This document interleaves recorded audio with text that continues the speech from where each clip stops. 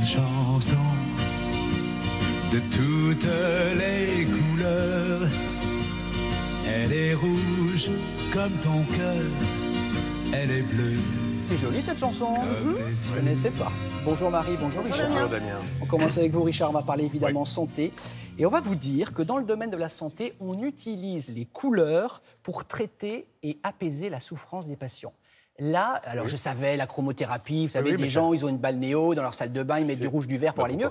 Mais en, en- en hôpitaux, je ne savais pas que ça se pratiquait. On- de peu, absolument, et, et ça devient véritablement un- un- un- la couleur médicament, la couleur thérapeutique, euh, et dans des domaines très pointus.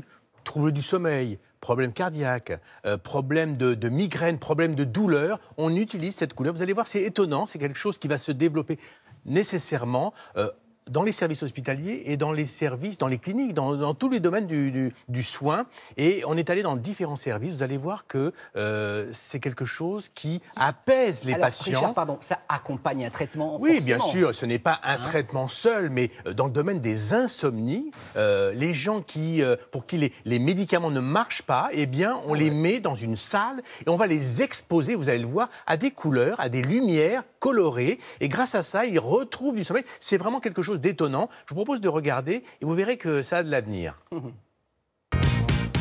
Rouge, jaune, bleu, vert, et si les couleurs devenaient un médicament à part entière?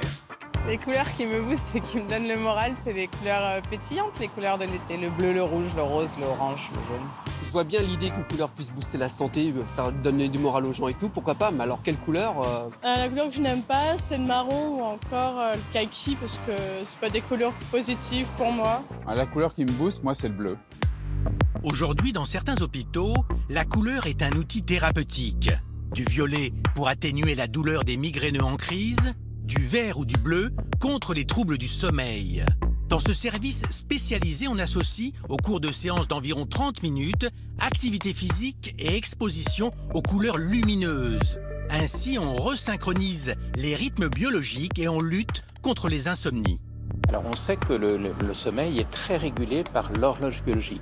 L'horloge biologique se trouve dans l'hypothalamus et elle est extrêmement sensible à la lumière. Le bleu pour stimuler l'éveil, le vert reproduit un éveil peut-être moins excitant que le bleu, le orange met dans un environnement où la mélatonine va pouvoir être sécrétée et déclencher le sommeil, et enfin le rouge, tout à fait à la fin, n'est pas du tout stimulant comme on pourrait le penser, mais au contraire favorise l'endormissement, le sommeil dans les heures qui suivent. Autre utilisation de la couleur dans cet hôpital. Bonjour monsieur, vous allez bien? Ici, dans le service de chirurgie cardiaque, on a opté pour le bleu afin d'adoucir le quotidien souvent difficile des malades.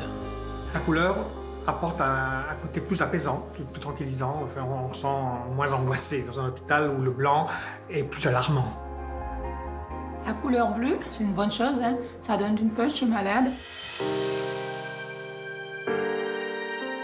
Le cœur, c'est notre boulot, on s'en occupe, on guérit les gens du cœur. Par contre, on a besoin d'avoir des patients qui soient plus sereins, qui soient plus détendus, et d'où l'intérêt des vagues, l'intérêt du bleu, l'intérêt de se laisser un petit peu glisser dans la récupération post-opératoire. Voilà, c'est un service, le service de chirurgie cardiaque, qui est, qui est lourd, hein, c'est pas les choses anodines.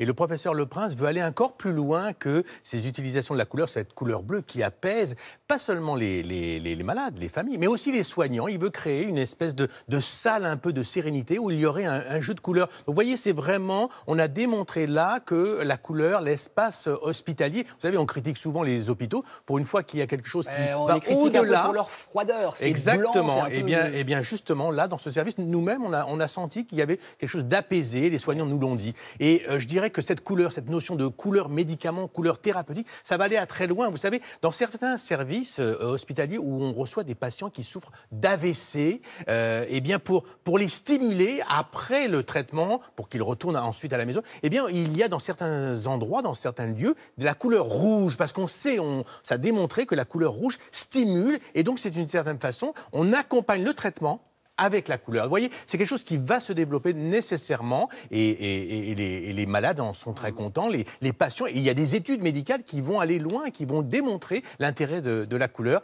dans euh, les soins. Regardez si ce grand écran est beau avec toutes ces couleurs derrière. On vous les offre à la maison, les couleurs de Télématin. Merci beaucoup.